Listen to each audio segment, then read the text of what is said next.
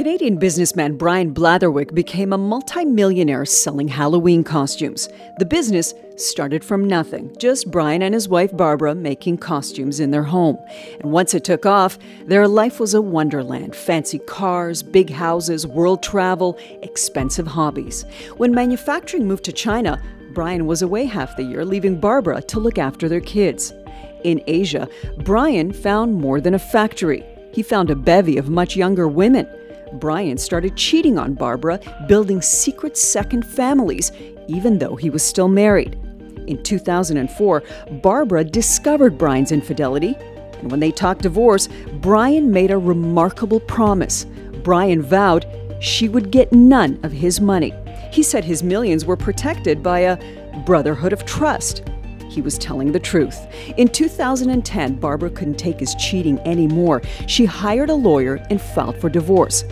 That triggered an epic legal battle. For six years, Brian worked to keep his promise that his wife would get nothing.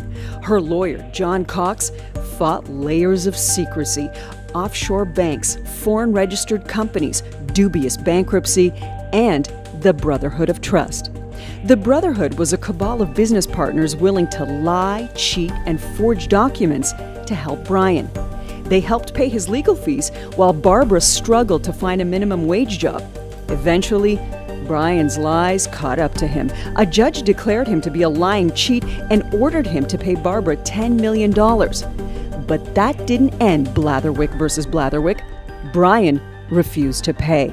He refused to comply with almost every court order.